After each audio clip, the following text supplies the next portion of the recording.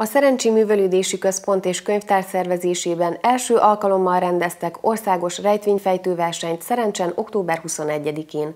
A Rákóczi Vár Színház termében megtartott versenyen közel 140-en vettek részt. Sokan csupán unaloműző elfoglaltságként gondolnak a rejtvényfejtésre, de sokrétűbb időtöltést nyújt annál, mint ahogy többnyire vélekednek róla. Minden korosztálynak hasznos, hiszen a kisebbeknél a tanulást segíti, a felnőttek pedig szinten tarthatják műveltségüket egy-egy feladvány megoldásával. Az első alkalommal megrendezett országos rejtvényfejtő versenyt Konc Ferenc polgármester nyitotta meg, és örömét fejezte ki azért, hogy ilyen sokan elindultak az bajnokságon. A versenyre Nagykanizsától Budapesten át Debrecenig mintegy 140-en neveztek.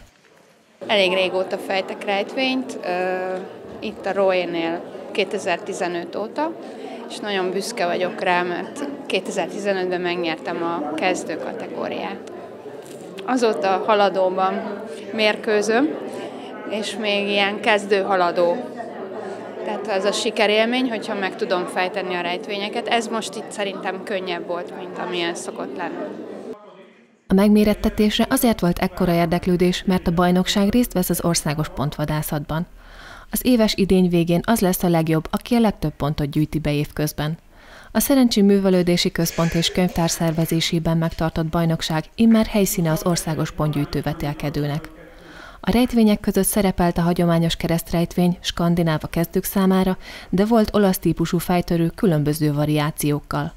Egyéni haladó kategóriában első helyezett lett a Győrből érkezett Sávold Éva. Azt mondja, könnyű volt a feladvány. Napi rutin nálam a rejtvényfejtés, az országos megmérettetéseken szinte mindegyiken részt szoktam venni. Ez pedig egy nagyon kellemes rejtvény volt, könnyű. Skorván József szervező elmondta, hogy hobbi rejtvényfejtőként Budapesten elindult már ilyen versenyen, és szerette volna, hogy városunkban is rendezzenek egyet.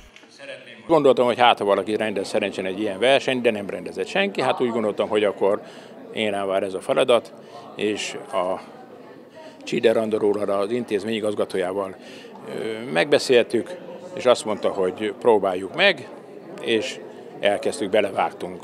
Hát aránylag elég jól sikerült, hál' Istennek találtunk olyan szponzort, aki ezt nagyvonalon támogatta.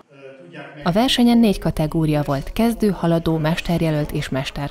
A feladatok megoldására 90 perc állt rendelkezésre. A legkevesebb hibapontot elért versenyzők oklevelet és díjat kaptak, emellett a legfiatalabb és a legidősebb versenyző külön díjat kapott.